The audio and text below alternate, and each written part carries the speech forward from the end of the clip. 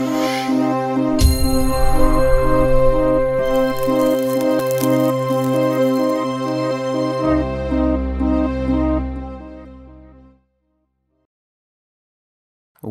everyone, this is Bullsaye, and I'm presenting to you the Never-Ending Potion Reserve.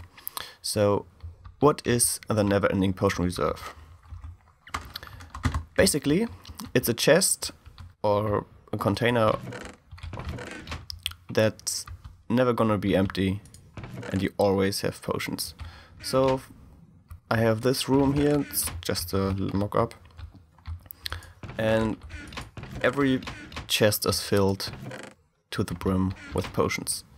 So when I would be to grab a couple of potions, we see the indicator light is going on and it says we are brewing new potions. Also, we have this indicator light back here, or this line of indicator lights, that tells us how many water bottles are left in the system. And we should, yeah, well, we should. If it's empty, we should definitely go refill it. We're gonna do it soon here. And also, another functionality that the system has is, first off, it's automatic automatically shuts up when the chest is full. So let's grab some junk items here and we fill it just like this, it's gonna brew the last brew cycle through and stop. So let's just wait, should be finished here soon. No, no, no, no, no, maybe not. Okay, then, yeah, let's come back there. I have on this side, well on the other two, but I don't know if you know this, but if you see here, the hitbox of the stair disappears when I look here. When I right click, I open this secret passageway. And if you go up here, this is where the water bottles are stored. I can refill them. So let's just grab a stack and fill all our inventory slots. We have to go in survival mode. And let's just refill the missing potions. And to game mode 1. And to close it again, just do it again here. So, now it's full again. And here, this one finished. And when I grab the log, let's just all of them. Let's just do this. So when I grab one log, it's not starting. Two and it starts. That's because and three are in the hidden reserve. And that's because uh, here this hopper right here needs to have more than one potion in it to disable the cycle because yeah, one potion is always running through when it's empty the potion stand. So yeah, more than one. Most of the time it's three. Well, at least here. And also I can disable the whole system. The button uh, levers could be pretty much anywhere it just goes into this line of redstone, it goes through all the different potion stands, and when I would be to empty this chest out completely, it would not refill, that's the buffer. But when I would be to enable it, it starts, and also, which is pretty neat, you can disable it again and it stops after the one brew cycle is doing right now and it stops but it's finished the cycle, so I think that's pretty neat. And yeah, it's I think it's a really great system. So let's just check out how it works. So over here we have the system in its bare minimum. This is the design I made and it's fairly small. It's a uh, 7 deep. Uh, not sure how tall. Uh, well, a little bit uh, variable is in the anyway, so uh, yeah, doesn't matter that much. The indicator light is optional, you don't really need it, as well as this shut off system right here. Um, so the redstone part itself is just these thick blocks deep and well uh, yeah and three wide but not tileable three wide four wide you will one airspace between it but um okay I'm gonna try to explain how it works it's at least uh, in the bare minimum so we have the brewing stand, of course. Then one hopper where all the brewing ingredients are in, which powers um, the storage, and that's the main part.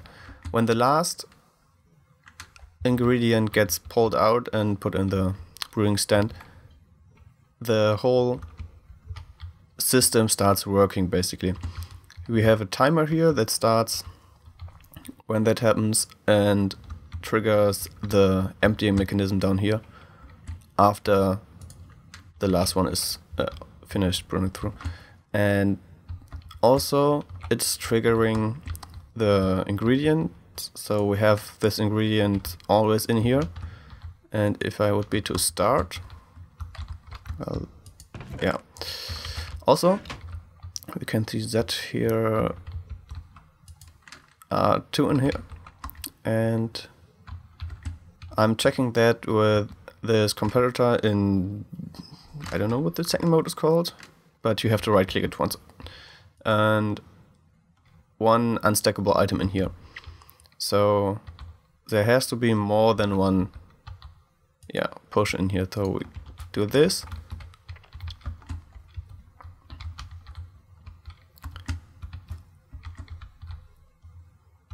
And... Oh, right. I disabled it. Okay, we enable it. And it starts brewing. Yeah, down is enable. And this is the enable disable system down here. When the potion or when the system is brewing, this torch will always be on. And with that disable this torch. When this is powered, the system is blocked. It's emptying right now. So that's alright. Uh, yeah, pretty much it does the same. So if I disable it, we're gonna wait until this disables, which happens when the system is finished brewing. So uh, let's take one out. 22 seconds or so. And yeah, this will go out, the torch lit, and it empties the system and stops. No matter how many potions are in here. Okay, so uh, that's a basic principle of the system. Now let's go and build it. What you need is in this chest. So redstone, repeaters, comparators, and redstone torches, droppers, hoppers, a chest or a different container, a lever, brewing stand of course, one unstackable item, circle a block, uh, a stack of blocks, 50 items for the counter, and indicator light if you want. If you don't want it, you need a lot of these, but you see and also some ingredients. We're gonna use just two, though it's a little quicker. So what you have to know is the system is three below the chest. So if your ground level is here, keep that in mind. then mark mm, yeah like this. And the redstone blocks. Put your lever on. You don't need this anymore. This is well if you just do one. Also you could I'm gonna show you later. Do this. A repeater here and a redstone torch here and redstone here. Now this block, I'm just gonna use redstone lamp, of course it doesn't have to be, is pretty much the most important block in the system. Either that or this one. Yeah, it's this one. Put blocks all around and that's why I used the redstone lamp just so we can see when the redstone is lit. And okay, I'm gonna hop here, do one of those thingies, and one more. Place a repeater here, here, and here. These both on four, redstone there, two here. Do something like this. Oops. Play that block, play that and this. Comparator and redstone repeater like this. Redstone repeater. There are no different repeaters. But okay, and hoppers like this, facing into each other. This is going to be the timer. Now what you're going to do is place two hoppers like this and like this and not this way. And this way. Right click it once this one. Put uh, your I don't have an unstackable item. Dang it. Give me no the other way. This one. Put the one ah okay one like that. Place a red uh, block on here. Redstone torch like this.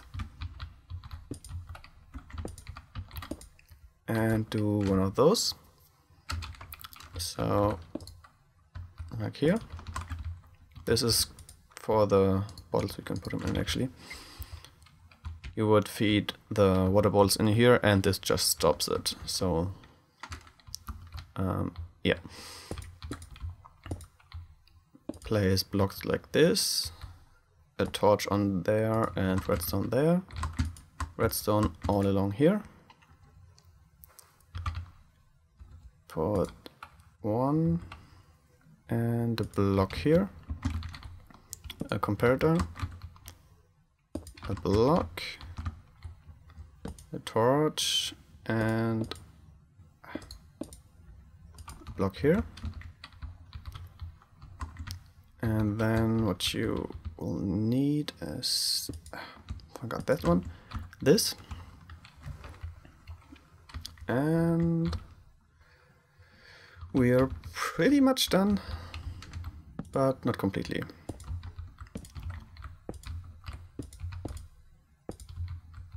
Do one of those. Place a block and stack, no, this and come on. Just stack up with hoppers and droppers. Place a repeater, two ticks, place redstone, and this one on one tick. Okay.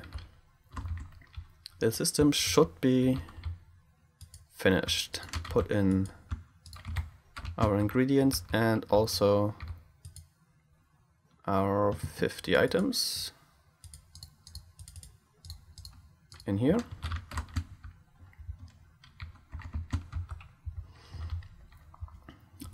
And well,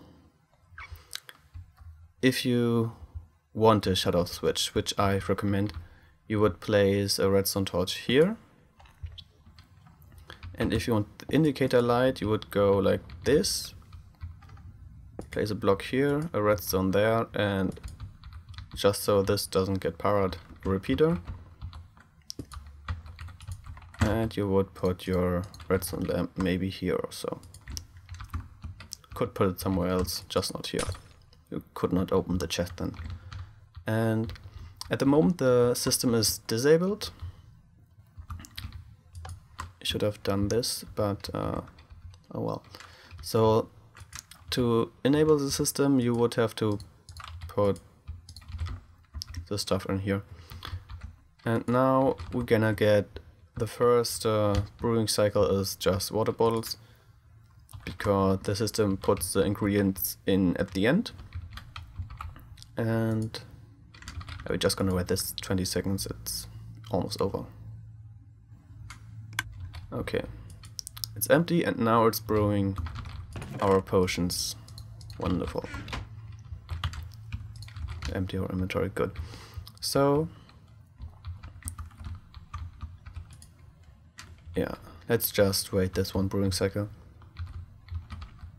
And, yeah. Our potions. Here this one's off, turns it on and the counter is running through. Once it's empty and well, this hopper is empty, this will pulse and reset itself, get emptied and refill it. To disable it, just turn this off and this one will turn off when it's empties, so it will just disable itself. Now, if you want to stagger these beside each other, you would have to do one of those numbers. And now it's a four wide tileable design.